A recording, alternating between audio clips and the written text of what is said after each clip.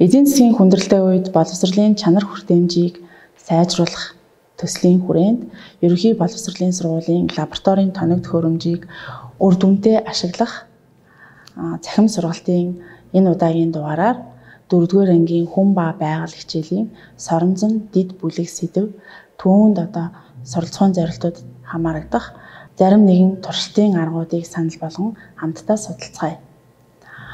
Энэхүү зөвлөмжөөр лабораторийн тоног төхөөрөмж болон гарын дорох материалуудыг ашиглан энгийн туршилт хийж шинжлэх ухааны ойлголтыг зөв ойлгуулах боломжийг хамтдаа ярилцъя. Соронзон дэд бүлэг сэдвийн 4-ийн 2-ын И буюу соронзонд татагддаг болон татагддаггүй материалыг таньж тодорхойлох суралцсан зорилтын хүрээнд дараах туршилтыг гүйцэтгэе.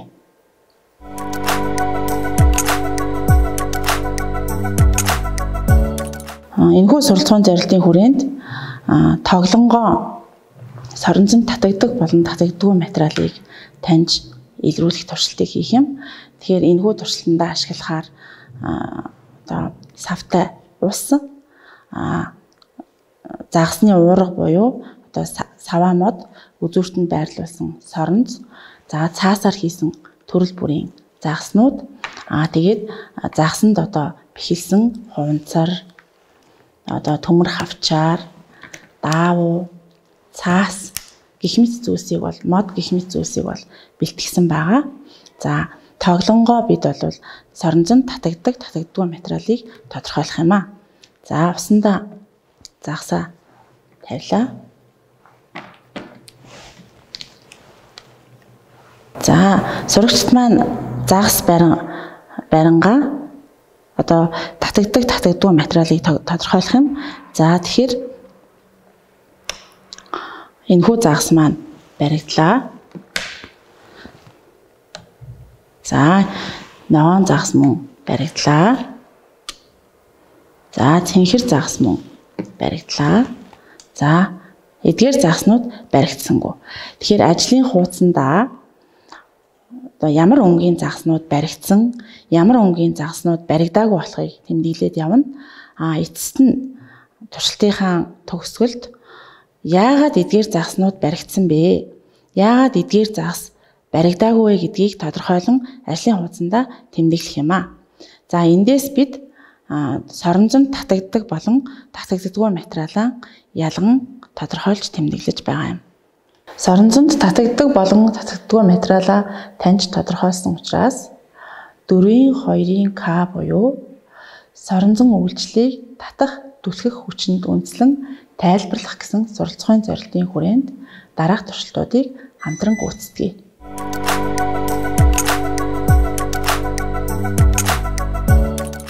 Энэхүү туршилтаа бид дараах хэрэглэгдэхүүнүүдийг ашиглах юм аа.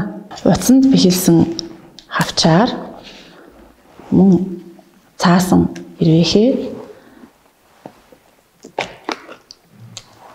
саранц а мөн савтай ус За. Энэхүү хавчаарыг соронз татаж байна. Агаарт мөн хөндөй тогтож байна. За тэгвэл хавчаар та соронзон татагддаггүй материалаар хийгдсэн ирвэхийг бэхэлж байрлуулсан байна. Тэгэхээр одоо бүгдээрээ ирвэхээ нисгий. За ирвэхээ маань мөн агаарт тогтож байна. Тэгвэл усан дотор бичгийн хавчаар хийсэн байгаа. Тэгэхээр гар болон соронзоо норохгүйгээр бичгийн хавчаарыг авч болох уу? Туршиж үзье. За бид гараа болон соронзоо норохгүйгээр бичгийн хавчаарыг авч чадлаа. Энэхүү мэдлэг дээрээ үндэслээд соронзон зайнаас ч татаж байна. Ойроос илүү хүчтэй татаж байна. Холдуулахад татах хүч нь суларч байна гэсэн дүгнэлтийг гаргах учиртай. Одоо бүгдээрээ дараагийн суралцахуйн зорилт болох 4-ийн 2-ын ил буюу соронзны татах түлхэх үйлчлэлийг туйлтай холбон зурж үзүүлэх гэсэн суралцахуйн зорилтын хүрээнд хийгдэх туршилтуудтай танилцъя.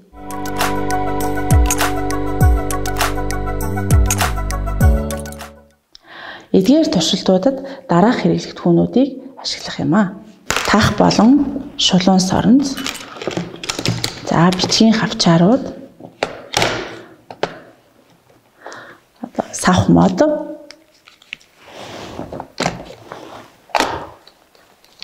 Саваа нүхтэй соронз. За эдгээр хэрэглэгдэхүүнүүдийг ашиглаад дөрвийн хоёрын ил суралцахын зорилтод хамаарагдах туршилтуудыг гүйцэтгэе. Тарааж байрлуулсан бичгийн хавчаарт шулуун соронзыг хүргэж авахд ийм үр дүн гарч байна. За сурагчид маань туршилтынхаа үр дүнг ажиглаад зурж тэмдэглэх учиртай. За мөн тах соронз ашиглан туршилт хийж үзүүлж болно. За энэхүү туршилтынхаа үр дүнг ашиглаад дэвтэртээ зурж тэмдэглэх ёстой. За энэхүү туршилтынхаа үр дүнг баттгаад дахин нэг туршилтын одоо санааг харуулъя. За ингээд одоо тулгууртай хүндий байрлуулсан соронз байна. Слайдн дээр нь одоо төмрийн үртэс тарааж байрлуулсан байгаа. За үүнийг баг зэрэг одоо тогшиж үзүүлье. За энэхүү туршилтынхаа үр дүн дээр үндэслээд соронзныхоо одоо туйлын талаарх ойлголтоо дэвшүүлж болох юм. За үүний тулд энэхүү одоо туйл тэмдэглэсэн соронзыг усан дотор хөвүүлэх. Энэхүү туршилтын үр дүн дээр үндэслэн дараах туршилтыг хийж үзье. За усан дотор соронзыг одоо ямар ч байрлалаас хаашаа харж хөдөлгөөнгүй тогтох вэ гэдгийг ажиглая.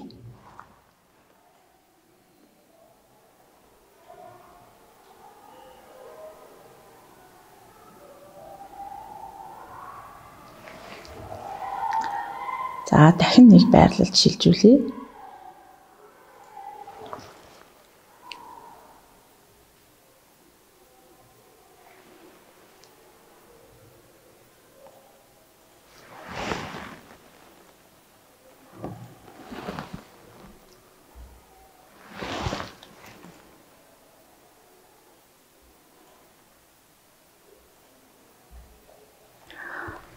Соронц маань ямар ч байрлалаас нэг л зөвхт хөдөлгөөнгүй тогтож байгааг сурагчид маань ажигласан байна.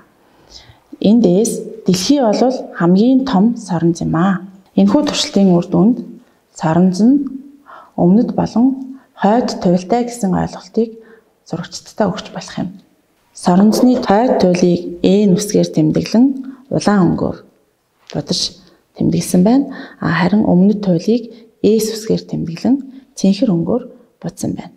Тэгэхээр өмнөх туршилт номер 2 дээр сурагчид одоо төмөр хавчаар соронзны үзүүр хэсэгт зах хэсэгт илүү их татагдж байна гэсэн дүгнэлтийг гаргасан байгаа. А тэгэхээр энэхүү дүгнэлтийг бид соронз туйлтай хэсгээрээ илүү хүчтэй татдгаа гэсэн шинжлэх ухааны нэр томьёо шилжүүлж дүгнэлтийг гаргуулах учиртай. Дараагийнхаа туршилтаар бид соронзон туйлын таталцал түлхэлцлийг судалцгаая.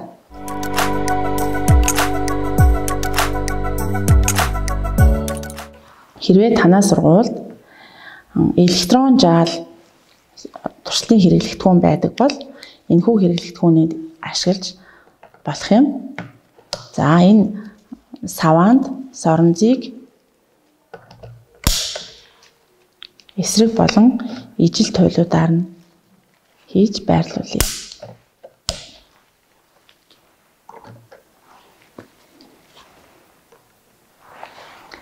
За энэхүү туршилтыг ажиглаад сурагчид маань дүгнэлт хийж зурж үзүүлэх учиртай. За хэрвээ ийм хэрэглэгдэхүүн байхгүй бол соронзыг ижил болон эсрэг туйлаар нь байрлуулад а дунд нь одоо алдац илбэгтэй одоо саваа модыг байрлуулсан байна. За ингээд скотчсон байгаа ижил туйлаар нь байрлуулаад скотчсон байгаа. Одоо саваа мод авахд хоёр туйл маань түлхэлцэж байгаа. А мөн ижил туйлаар нь байрлуулан энэхүү туршилтыг үзүүлж болно. Энгийн материал ашиглаад үзүүлчих болж байна. Өмнөх туршилтаар бид соронзон одоо ижил туйлууд нь түлхэлцдэг, эсрэг туйлууд нь таталцдаг гэсэн дүгнэлтийг хийсэн байгаа.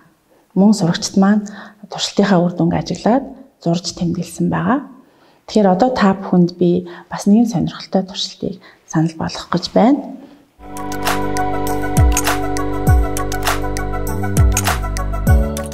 За, надад туйл тэмдэглэгдээгүй соронз байна. Энэхүү соронзын туйлыг хэрхэн тодорхойлох вэ? За, бүгдээрээ хамтдаа тодорхойлъё. Энд туйл тэмдэглэсэн соронз байна. За, S буюу өмнөд туйлыг тэмдэглэсэн тал талыг соронзтой би туйл тэмдэглээгүй соронзтой ойртуулж байна. За, энэ хоёр бол түлхэлцэж байна.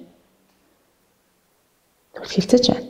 За тэгвэл энэ буюу хойд туйлыг тэмдэглэсэн талыг ойртуулъя. Энэ хоёр таталцаж байна. Тэгэхээр энэ маань ямар туйл вэ? Эсрэг туйлууд таталцдаг. Тэгэхээр энэ бол эс туйл байх нэ. Тэгвэл нөгөө туйлыг мөн тодорхойлъё. За нөгөө туйлд S буюу өмнөд туйлыг тэмдэглэсэн туйл татагдж байна. Тэгэхээр энэ маань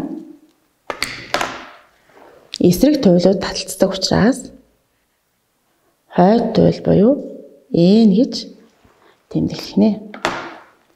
За туйл тэмдэглээгүй соронзыг бид туйлыг нь тодорхойлж болж байна. Тэгвэл энэхүү соронзоо хүссэн хэсгээрээ зүсэж үзье. Аль нэг туйл нь үгүй болсон болов?